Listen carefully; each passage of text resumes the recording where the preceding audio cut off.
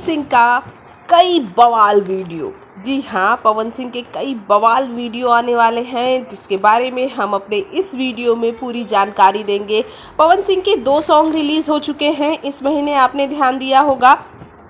एक sad song और एक मीठा मीठा बातें कमरिया टू। और अभी पाँच गाने रिलीज़ होना बाकी है, जो बैक टू बैक आने वाले हैं और खेसारी लाल यादव की तरह ही अब लगता है पवन सिंह भी कई इसी तरह से गाने लेकर आए। वैसे सरकार धीरे धीरे हर राज्यों में लॉकडाउन लगा रही है तो उसे देखते हुए सारे स्टार्स यही सोच रहे हैं कि भाई, भले ही फ़िल्मों की शूटिंग नहीं कर सकते, लेकिन गानों की शूटिंग तो हो ही सकती है। तो चलिए, हम आपको बताते हैं कि बड़ी खबर आगे इस वीडियो में क्या होने वाली है। तो इस वीडियो में एक बड़ी खबर ये होने वाली है कि शिल्पी राज के साथ पवन सिंह पहली बार गाना गाते नज़र आएँगे। जी हाँ ये बहुत बड़ी खबर है, क्योंकि अभी तक शिल्पी राज के साथ पवन सिंह ने गाना नहीं गाया है और विजय चौहान इस गाने को लिख सकते हैं।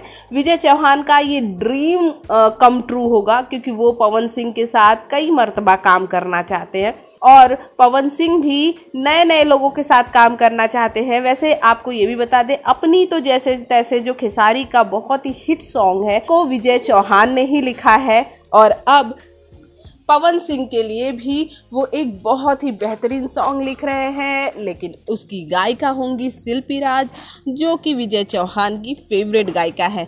तो खैर, वैसे भी आजकल शिल्पी राज बहुत लोगों के साथ कोलैबोरेट कर रही हैं, फिर वो चाहे समर सिंह हो या फिर हों, खेसारी लाल यादव या फिर अंकुश राजा हो।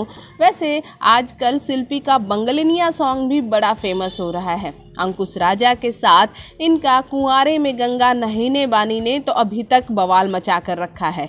वैसे शिल्पी भोजपुरी का जाना माना नाम बन चुकी हैं।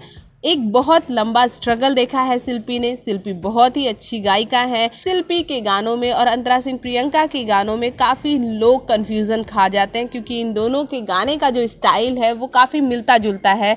तो लोग बड़े कंफ्यूज हो जाते हैं। जब तक पोस्टर पर नाम नहीं देखते, वो कह नहीं पाते, भाई, ये किसका गाना है? शिल्पी का गाना है या अंतरा का गाना है? वैसे आपको बता दें कि शिल्पी और अंतरा के गाने में अगर आपको पहचान करनी है तो शिल्पी की आवाज़ थोड़ी अंतरा सिंह प्रियंका से मधुर है। जी हाँ अगर आपने कभी सुना होगा इन दोनों को तो उनकी आवाज़ ज़्यादा अंतरा सिंह प्रियंका से मधुर है। इस वजह से आवाज़ में फ़र्क आराम से आप पकड़ सकते हैं। वैसे अंतरा सिंह प्रियंका के साथ न जाने पवन सिंह कब काम करेंगे, लेकिन ये बात तय है कि अगर उन्होंने शिल्पी के साथ काम किया और शिल्पी के साथ उनकी आवाज़ की ट्यूनिंग कैसी लगेगी लोगों को, ये तो आने वाला वक्त बताएगा। अगर ट्यूनिंग बैठती है तो शिल्पी के लिए खेसारी के बाद पवन का साथ भी कई गाने गाने को मिल सकते हैं।